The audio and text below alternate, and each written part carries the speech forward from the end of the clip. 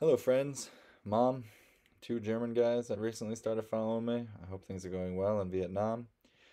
I'm just cleaning up some files that I found from when I first arrived to Brazil. And uh, the following is a quick trip back in time to when the world was a simpler place and I was a simpler man.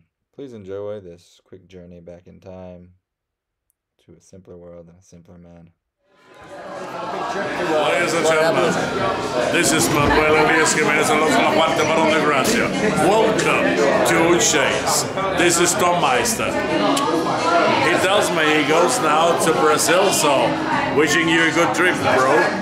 So, I'm switching off. The patron, let's smoke. patron, be careful. Hey, he's under my protection.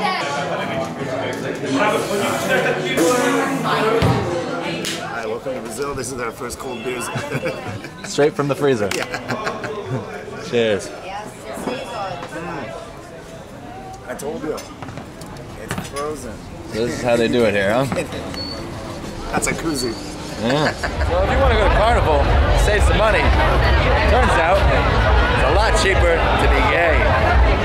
So here we are, Florianopolis, the most gay-friendly city that I've ever heard of in Brazil. And boy, are we having a lot of nice three-way boy kisses. Yeah! I'm, I'm with the Kobe Bryant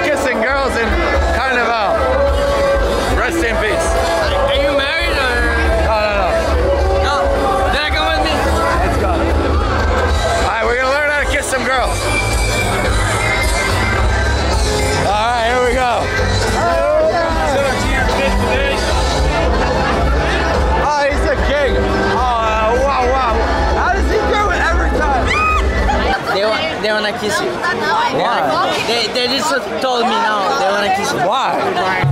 Hey! What's up? Carnival! That's right. What year is it? Wait. What year? What year? What year? Is it 2000? 2020! Oh, shit! New York! I thought it was uh, 2011. Oh my god! How we finish the video? Love and happiness and I love and happiness. love and happiness words to you guys. That's Brazil. somebody comes eventually. Where do I push the button?